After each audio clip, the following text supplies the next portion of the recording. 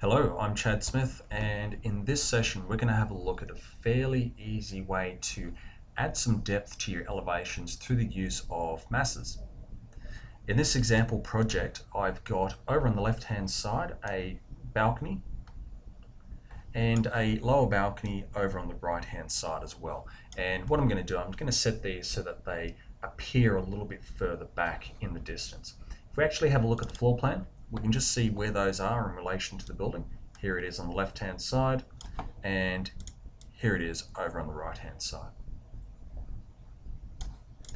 Now in this project I've already got loaded a mass object. I've called it mass elevation depth.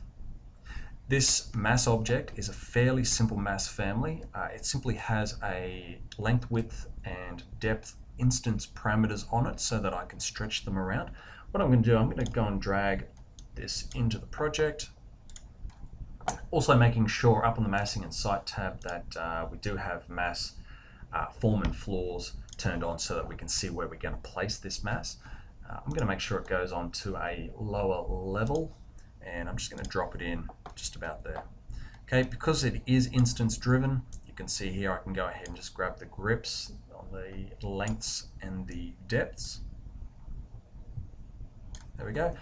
Basically just ensuring that the balcony on the left and on the right here are enclosed within this mass object.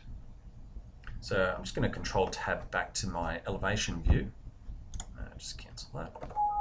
And once again, just making sure that we've got these masses turned on. Yes, we do. Just reconfirming that. And you can see here that the height is not set correctly. So just using these grips once again, I'm just going to drag this down and drag the top of it down as well.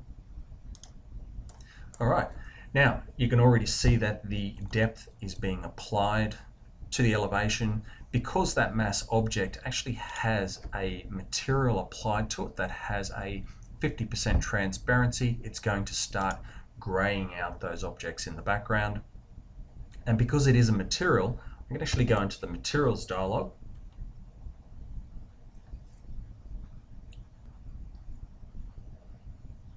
Okay, and you can see here I've got my mass elevation depth material that has a transparency on it. Uh, if I don't want the those items in the background to stand out as much, I simply just decrease that transparency on it.